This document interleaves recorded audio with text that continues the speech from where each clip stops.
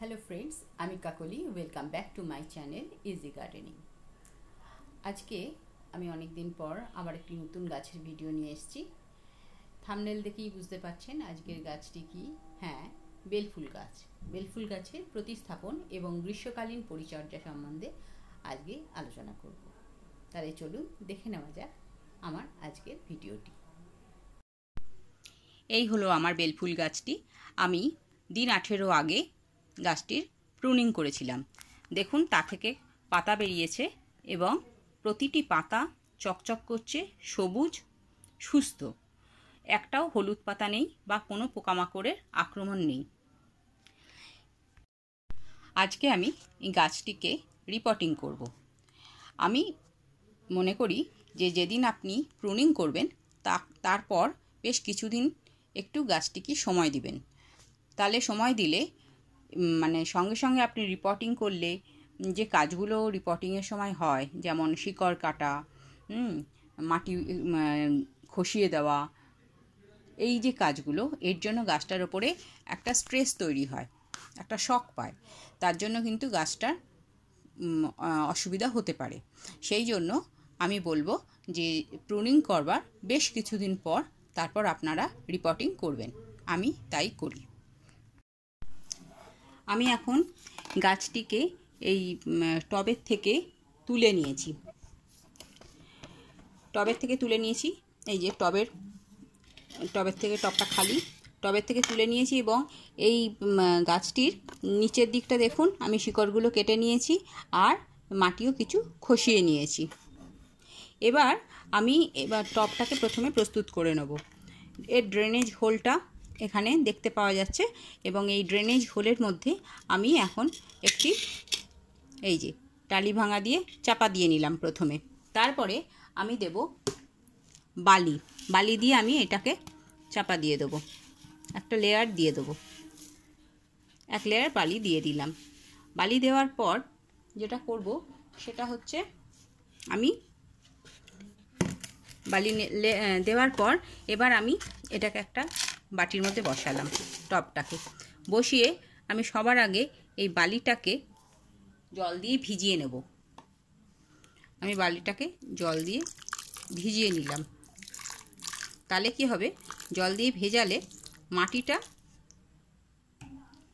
এই ভেজা বালিতে গিয়ে মাটি দেওয়ার পরই মাটিটা আটকে যাবে এবং বালি ভেদ করে কিন্তু মাটি বেরিয়ে যাবে না। সেই জন্য আমি এই যে বালিটা থেকে জলটা নেমে যাচ্ছে, এরপর আমি দেব মাটি। এবার মাটিটা কি দেব? আমি এখানে মাটির ভাগ করে রেখেছি। এটা হচ্ছে আমার এই গাছের থেকেই, যে গাছের থেকেই যে মাটিটা পেয়েছি, সেই মাটিটাই। সেই মাটিটাকেই আমি একটুখানি ওই রুটগুলো যেগুলো ছিল, পুরনো সেই রুট বা শিকড়, যতটা পেরেছি ওটা সরিয়ে নিয়েছি। নেওয়ার পর এই যে মাটিটা, এতটা মাটি নিয়েছি। এটা হচ্ছে কোকোপিট, সঙ্গে কলার খোসা, শুকনো করা কলার খোসা এবং ডিমের খোসা দেখুন। ডিমের খোসা গুঁড়ো করা আছে, শুকনো করা।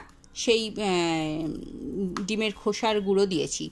এটা হচ্ছে কোকোপিটেরটা। এবার এইটুকু দিয়েছি ভার্মি কম্পোস্ট ভার্মি কম্পোস্ট দিয়েছি প্রায় দুমুঠো দুমুঠো ভার্মি কম্পোস্ট দিয়েছি। এইখানে দিয়েছি দু চামচের মতো এক এক মুঠোর একটু কম সর্ষের খোল। আর এখানে দিয়েছি এইটুকু অল্প একটুখানি নিমখোল এই ছিল আমার মাটির মিশ্রণ। আরেকটা জিনিস দেব, সেটা হচ্ছে বেশি ফুল পাওয়ার জন্য আমি দেব এই যে এক মুঠো হাড় গুঁড়ো। এর ওপর দিই তাহলেই বুঝতে পারবেন হাড় গুঁড়োটা। এই হলো হাড় গুঁড়ো। এইবার আমি এই মিশ্রণটাকে ভালো করে মিশিয়ে নেব। সমস্ত কিছুকে ভালো করে আমি আগে মিশিয়ে নিচ্ছি। মেশানো হয়ে গেল। এবার আমি টবের মধ্যে দেব। তার জন্য আমি এটা সরিয়ে নিচ্ছি। টবটিকে আবার নিয়ে এলাম সামনে। এই যে। এবার আমি এর মধ্যে প্রথমে এরমভাবে দেব এবং এবং চেপে দেব, চেপে চেপে দেব। যারা পুরনো বন্ধু, তারা জানেন কেন আমরা চেপে দিচ্ছি। কিন্তু যারা নতুন, আমার বন্ধু, আজকে প্রথম দেখছেন, তারা তাদের জন্য বলি বা যারা জানেন না, তাদের জন্য বলছি, এই চেপে দেওয়া হয় কারণ এর ভেতরে যেন বাতাস আটকে না থাকতে পারে এয়ার আটকে না থাকতে পারে। তাহলে কিন্তু বর্ষাকালে এর থেকে রুটগুলো যখন মাটির ভেতরে থাকে এয়ার থাকলে একটা বিক্রিয়া হয়ে রুটগুলোতে পচন সৃষ্টি হওয়ার খুব সম্ভাবনা থেকে যায়। এবার আমি এই এটাকে মাটিটাকে দিয়ে দিচ্ছি। যতবারই দেবেন, ততবারই কিন্তু আপনাকে একটু চেপে চেপে দিতে হবে।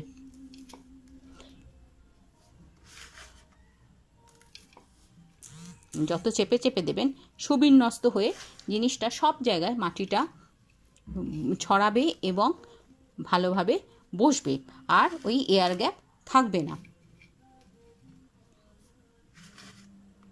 আরেকটু দিলাম এবং দেওয়ার পর এবার আমি দেখে নেব যে গাছটা যে অবস্থায় আছে, এই অবস্থায় গাছটা বসার পর কতটা মানে গ্যাপ থাকছে।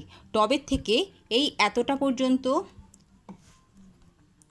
টবের থেকে এতটা নিচে পর্যন্ত আপনাকে মাটি থাকতে হবে। কেননা আপনি যখন জল দেবেন, সেটা যেন ওভারফ্লো হয়ে বেরিয়ে না যায় বা আপনি সার দেবেন, খাবার দেবেন যখন, সেগুলো যেন ওভারফ্লো হয়ে বেরিয়ে না যায়। তার জন্য আপনাকে সব সময় মাটির লেয়ারটা এই অবধি রাখতে হবে। মাটি এই অবধি থাকবে, তার ওপরটা গ্যাপ থাকবে। আচ্ছা এবার আমি এই গাছটাকে তুলে এর মধ্যে বসিয়ে দেখে নেব যে এটা কতটা আরও মাটি দিতে হবে। এবার আমি এর মধ্যে মাটিগুলো দেব।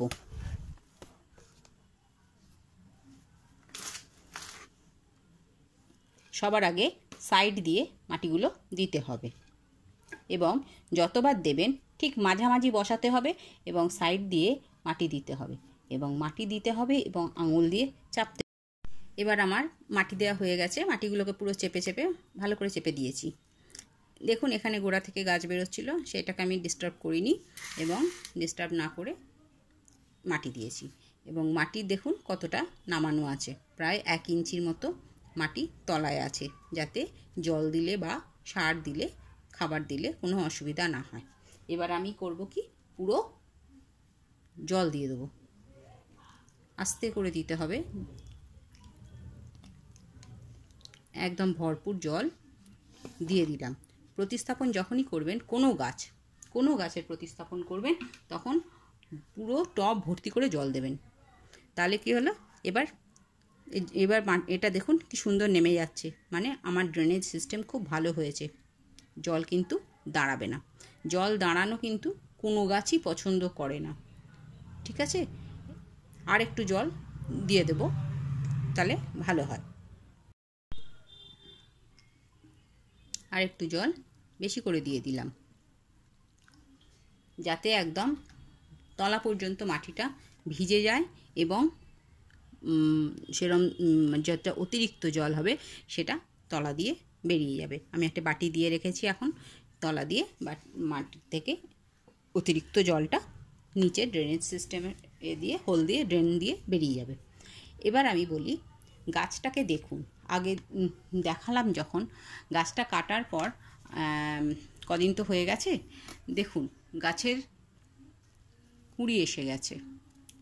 কুড়ি এসছে কিন্তু যেহেতু আমি গাছটাকে এতদিন ওই কাটাই করেছি এবং নিচেও ছাঁটাই করেছি, কিন্তু যেদিন ছাঁটাই করেছি সেদিন বা তারপর সেদিন আমি বসাতে পারিনি, আমার হয়ে গেল আরও দু তিন দিন। যার ফলে গাছটার গ্রোথটা কিন্তু খুব একটা বাড়েনি। এতদিনে যদি এটা গাছ মাটিতে বসিয়ে দিতাম এবং এই কাজগুলো করে ফেলতাম, আরও সুন্দর গ্রোথ হতো। যাই হোক দেরি হয়েছে, তাতে কি হয়েছে? কিন্তু গাছ কিন্তু এমনি হেলদি দেখুন, গাছের পাতা দেখলেই আপনারা বুঝতে পারবেন, গাছে কোনো রকম রোগের বা পোকার আক্রমণ নেই এবং গাছ কিন্তু বিরাট হেলদি শুধু খাবারের ভালো করে যত্ন ছিল না, খাবারের অভাব ছিল এবং জলও আমি খুব একটা বেশি করে দিচ্ছিলাম না, ছায়াতে রেখেছিলাম, রোদে রাখিনি সেই জন্যই গাছটা কুঁড়ি এসছে। এবার কথা হচ্ছে যে গাছটাকে এবার কি করে আপনি কোথায় রাখবেন? গাছ কোথায় রাখবেন? এত রোদ। এপ্রিল মাস পড়ে গেছে মানে নিজেরাই দাঁড়াতে পারছি না রোদে। তাহলে গাছ তো একটা, গাছেরও তো প্রাণ আছে। তো গাছকে কিন্তু ওই দুপুর সাড়ে এগারোটা থেকে বারোটা পর্যন্ত আপনি রোদ দেবেন। তারপর কিন্তু আপনাকে এমন একটা জায়গায় রাখতে হবে বা আপনাকে সরিয়ে নিতে হবে যাতে সেই জায়গায় রোদের তীব্রতাটা মোটেই গাছের গায়ে না লাগে। তাহলে কিন্তু গাছের গায়ে যদি সূর্যালোক এরপর পায়, গাছ পায় বা গাছের রোদটা লাগে, প্রচণ্ড তাপ গাছ কিন্তু নিতে পারবে না এবং গাছের পাতাগুলো দেখ, জ্বলে জ্বলে যাবে। গাছের পাতাগুলো কুঁকড়ে যাবে, শুকনো শুকনো হয়ে যাবে এবং হলুদ হয়ে দেখেই বুঝতে পারবেন গাছটা যে শুকনো হয়ে যাচ্ছে বা গাছের পাতাগুলো জ্বলে যাচ্ছে। কাজেই গাছের গাছকে পারলে দুবেলা জল দেবেন, যদি শেডে রাখতে পারেন মানে বারোটার পর, তাহলে আপনি, শেড বলতে আমি এটা কিন্তু বোঝাতে চাইছি যে রোদ সরাসরি নয়, কিন্তু উজ্জ্বল আলোটা যেন আসে। এটাই বোঝাতে চাইলাম। এবং যদি সেটা রাখতে পারেন, তাহলে কিন্তু আপনার গাছের দুবেলা জল না দিলেও চলবে। আর জলটা কিন্তু আপনাকে প্রতিদিন দিতে হবে, প্রতিদিন দিতে হবে। কারণ এত রোদের তাপ, আপনি রোদ রোদে দিন বা না দিন, আপনার কিন্তু মাটি শুকিয়ে যাবে। এবং মাটিতে আমার যেহেতু এঁটেল মাটি, আমি বালি মিশানোই থাকে আমার, সেই জন্যই আমার তো আরও তাড়াতাড়ি ড্রেনেজ, দেখছেন? জল কেমন টেনে গেছে? কাজেই ড্রেনেজ সিস্টেমটা যেহেতু ভালো সেই জন্য জলটা আপনাকে আমি আমি দুবেলাই দিই, সকালে একবার দিই, আবার একবার, এই সন্ধ্যের পর একবার জল দিই। তো যাই হোক, জলটাকে দিতে হবে, আর এক্ষুনি খাবার দেওয়ার দরকার নেই, মোটামুটি সব খাবারই দেওয়া হয়ে রয়েছে, যেমন হাড় গুঁড়ো, সর্ষের খোল তারপরে ভার্মি কম্পোস্ট, সব কিছুই দেওয়া আছে। এক্ষুনি কোনো খাবার দেবেন না, অন্তত এক দেড় মাস যাক, গাছটা আরও তাগড়া হয়ে উঠুক। তরতাজা হয়ে উঠুক ওকে একটুখানি এই জায়গার সঙ্গে মাটিসার সঙ্গে একটু মিশিয়ে যেতে মানে নিজেকে অভিযোজিত হতে দিন, বাংলায় যেটা বলে অভিযোজন, অভিযোজিত হতে দিন। তারপরে দেখবেন আপনার গাছের ফুল মানে ফুল যখন আসবে, তখন আমি এই গাছটার আরেকবার আপনাদের অন্য ভিডিওর পাশাপাশি ফুলটা দেখিয়ে দেবো যে কেমন আমার গ্রোথ হলো বা ফুল হলো। আপনারা এইভাবেই করুন। আর একটা জিনিস গাছে যদি পারেন গাছের গোড়ায় তো জল দেবেন, আর গাছের গায়ে কিন্তু অবশ্যই জল স্প্রে করবেন। সন্ধ্যের পর বা সকালের দিকে একবার জলটা স্প্রে করবেন। জলটা, এই যে গাছ গাছ না মানে একটু ভিজিয়ে দিলে দেখবেন আপনার খুব তাড়াতাড়ি এর গা থেকে আরও অনেক ভালো গ্রোথ হয় গাছের এবং গাছের ডাল আরও ডাল বেরোবে। আর গাছের যখন ফুলটা হয়ে যাবে, একটা কথা বলে দিই, গাছের যখন ফুলটা হয়ে যাবে, ফুলটা ফুটে যাওয়ার পর এই ফুল তো একদিনই থাকে বলতে গেলে, কিন্তু গাছ, গাছের ফুলটা হয়ে যাওয়ার পর গাছের এই গোড়া, এখান থেকে ফুলটা কেটে দেবেন, তাহলে আবার এখান থেকে নতুন ডাল তৈরি হবে। আবার সেই ডালের মাথায়তে দেখবেন কুড়ি আসছে। এইভাবেই গাছটা কাটতে হয়। আর এই গাছে খাবার এক্ষুনি দেওয়ার দরকার নেই।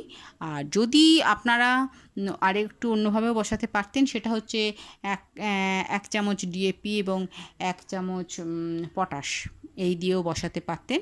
তাহলেও আপনাদের গাছের গ্রোথ সুন্দর হবে। আমি দিইনি ওসব কিছুই, আমি একটু নিয়ে জৈবভাবেই করি। আর তা আর এক মাস যাক তারপর আপনারা বুঝে আপনারা ওই সর্ষের খোল দিন পনেরো ছাড়া ছাড়া গাছের গোড়ায় দিয়ে দেবেন। সর্ষের খোল বলতে সর্ষের খোল পচানো জলটা, পাতলা করে, একদম পাতলা করে, গরম তো একে গরম গাছকে মানে আপনি যে কোনো জিনিস কম দিন, গাছের কোনো ক্ষতি হবে না, কিন্তু বেশি দিলেই গাছের কিন্তু ক্ষতি হবে। ঠিক আছে? এই ছিল। আর এই গাছের এক্ষুনি রোগের বলতে কিছু নেই। রোদ থেকে মানে একটু রক্ষা করুন। কারণ এ কিন্তু পুরো রোদ নিতে পারবে না। এত রোদ, রোদে থাকার জিনিস, গ্রীষ্মকালীন গাছ আমরা সবই বুঝি, কিন্তু তাও এই বেলা বারোটার পর কিন্তু একদমই রোদে রাখবেন না। একটা কথা, সেটা হচ্ছে শুকনো পাতাগুলো ফেলবেন না বা পাতাগুলো ফেলবেন না, সেই পাতাগুলোকে শুকনো করে রেখে দিন।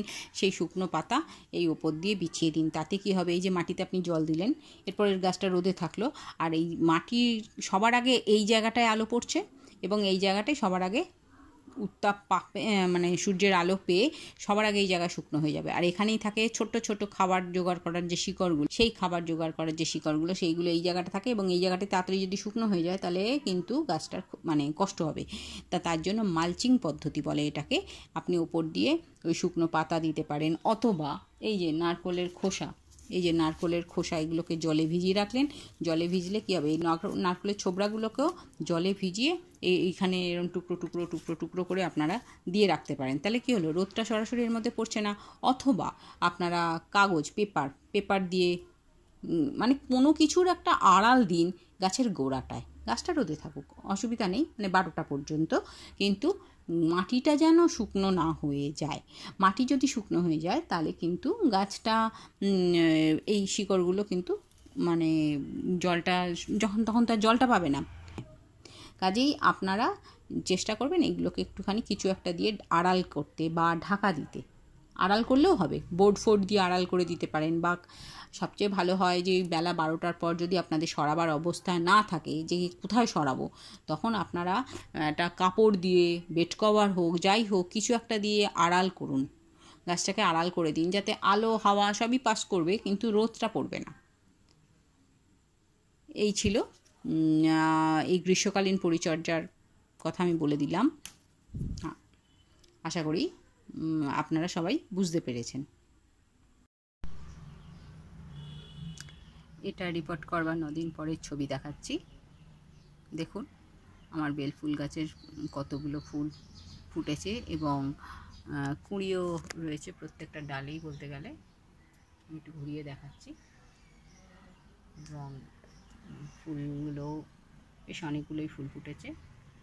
কালকেও ফুটেছিল। আমার আজকের ভিডিওটা যদি আপনাদের ভালো লাগে, তাহলে প্লিজ একটা লাইক দেবেন আর বন্ধুবান্ধব আত্মীয় স্বজন সবার মাঝখানে শেয়ার করে দেবেন। আর নতুন বন্ধুরা, আপনারা বেল আইকানে প্রেস করে রাখবেন যাতে আমার পাঠানো সমস্ত নোটিফিকেশান প্রথমেই আপনারা ফোনে পেয়ে যেতে পারেন। সাবস্ক্রাইব অবশ্যই করে রাখবেন। সবাই খুব ভালো থাকুন। এই বলে আজকের ভিডিও শেষ করছি। নমস্কার।